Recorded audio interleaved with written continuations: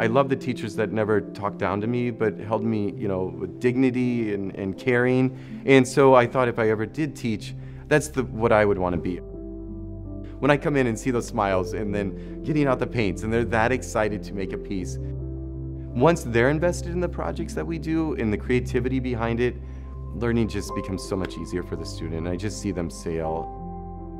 We talk about being a man or woman for others here at Creighton Prep.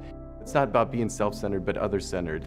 And what can we do out there to make our world a better place? What's it look like in the community? It's not just what you do at school, but when you leave these doors of Creighton Prep. I'm excited about my religion and what I do, you know, and how I can inspire the next generation.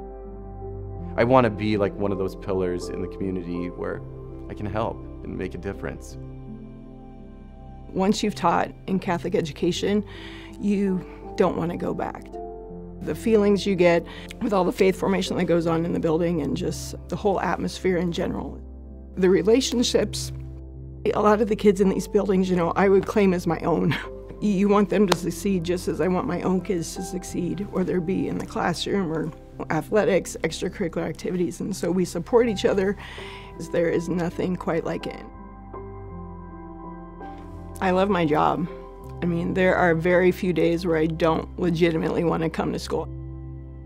And I know there's a, not a lot of people in the world that are fortunate enough to say that, and even a lot of teachers that probably aren't fortunate enough to say that, but just the atmosphere, the kids, um, the support that we generally have here is just wonderful.